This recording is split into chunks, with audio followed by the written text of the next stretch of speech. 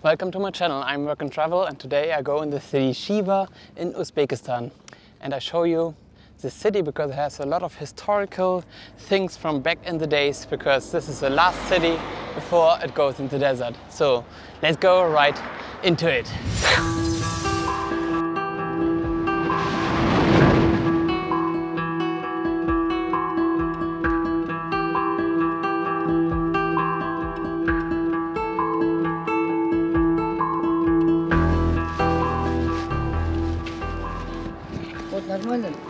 Да, да. Не холодный это, нормально, да? нормально. Пойдем. Да, да.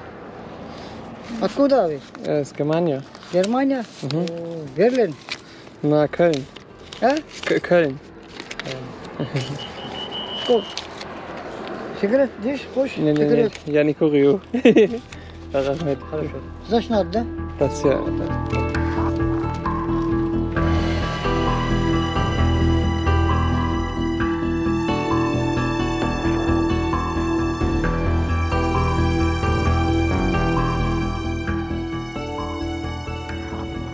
I go where?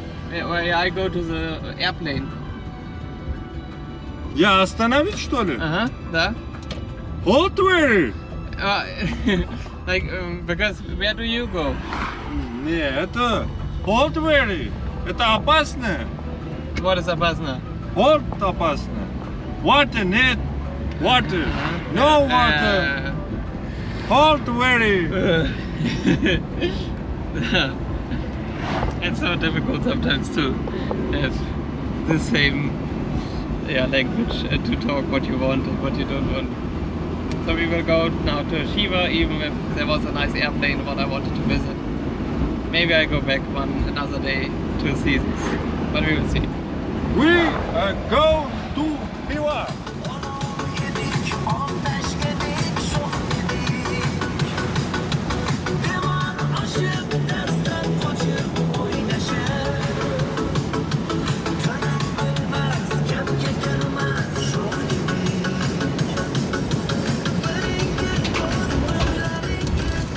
The Karam John invited me to his home and and now we are driving I don't know I if understand. living here or if we are just visiting somebody else. Huh?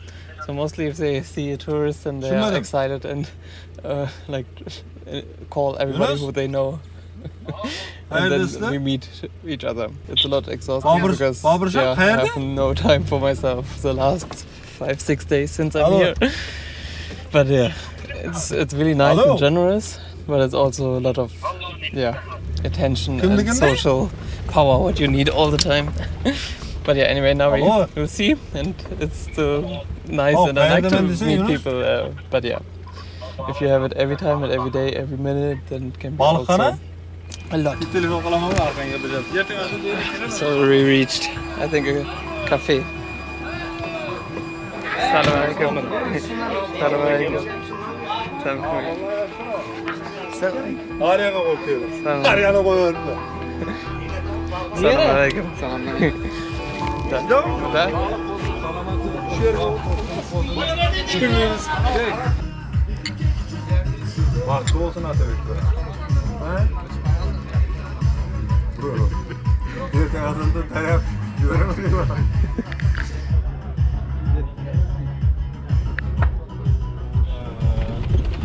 I go Shiva. Kiva. No, it's perfect. It's good. Yeah. I'm sorry.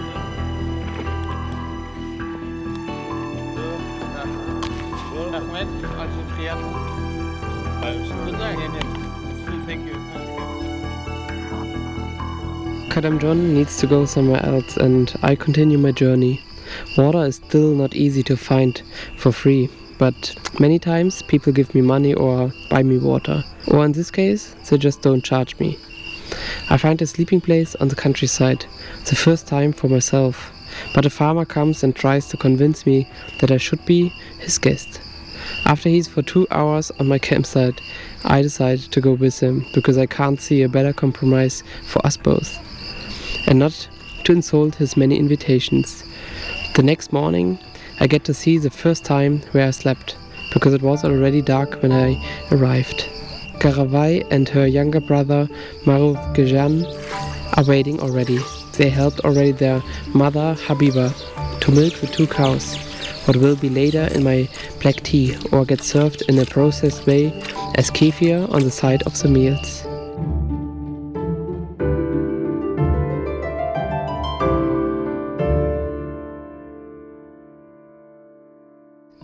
Finally, I found my first co-worker who helps me as a cameraman over the next time. After breakfast, we take the 8 month old Arif Yam with us and get to see how the neighbor kids catch some big fish. Quite brutal, but this is reality.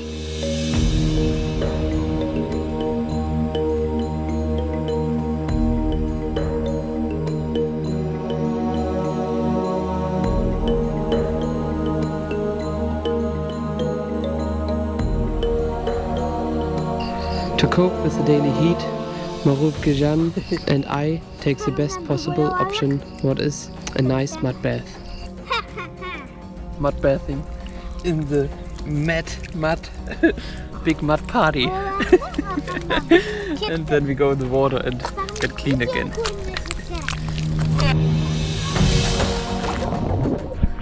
so funny.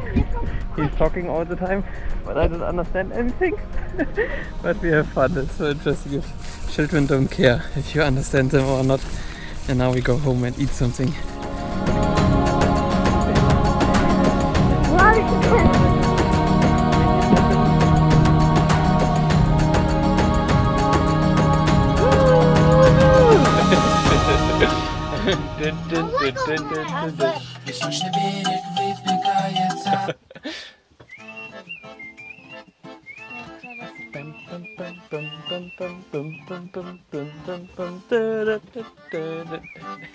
Where do we go? Kuda mu jedem. Kandai. they have like a new tractor, so they show me the new tractor and also which music they have. so let's.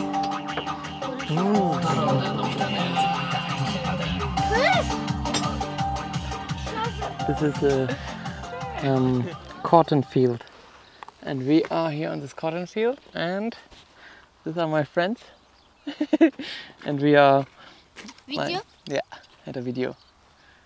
And today I will go and go back to the street and go further to Khiva and I will leave them. It was a fun time. It's not speaking the same language but still learning from each other and having fun. So I would say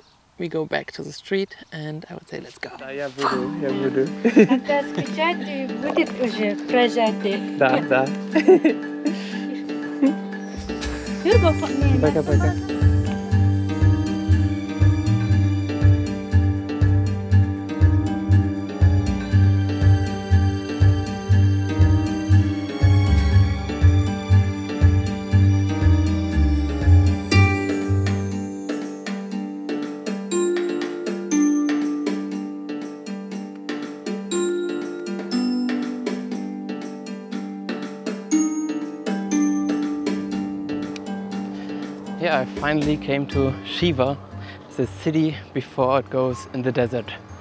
And yeah, how you can see already, this caravan is going in the desert soon. Or do you? so I think I tell you a little bit more of the history from here. Khiva is the pearl of Eastern Middle Age architecture. According to the legends, Khiva was founded by a son of Noah, Shem, when he dug a well in the middle of the desert.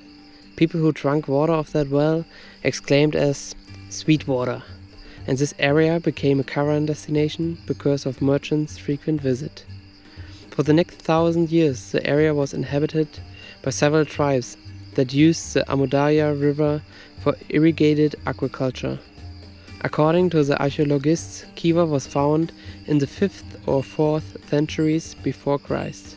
As the first major structure were built, the city became known as a trading post on the Silk Road. Had a water supply directly from the Amu Darya River by Kilkarni Canal. Trade and social life was much flourished in the city at that time, and it came to a sudden end after Genghis Khan's army destroyed the area. Khiva gained its independence again, developed for the next several centuries. Maya Constructions was reconstructed again, and it continued its active role on the Silk Road, trade with producing much precious goods. Ishan Kala has a 6 to 8 meters high, 6 to 7 meters wide, and a 2.2 kilometers long city wall. As other fortresses in Central Asia, the city walls were built out of sun-baked bricks. The city rectangular in shape, 650 meters by 400 meters, and it has four gates facing to four sides of the world. Ishan Kala was a site for the Khan's palace. High officials, clergy, and rich merchants lived there. The ordinary people, small merchants, and, and craftsmen lived in Dishan Kala, what is the outer city, who was built 1842. Khiva was located on the crossroad of the Great Silk Road as an important post that connected two powerful lands, China and Rome.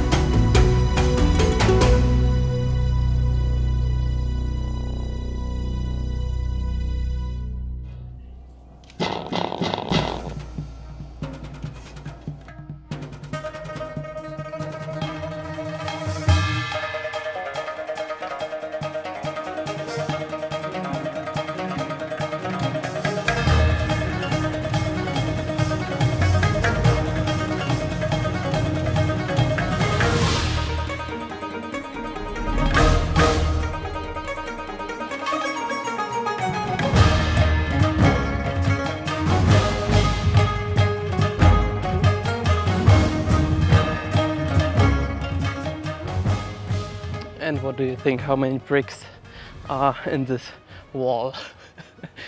I guess it is too many to count. So I would say this is all what I could show you from Khiva and I hope you enjoyed my video and I would say see you in my next one. Bye.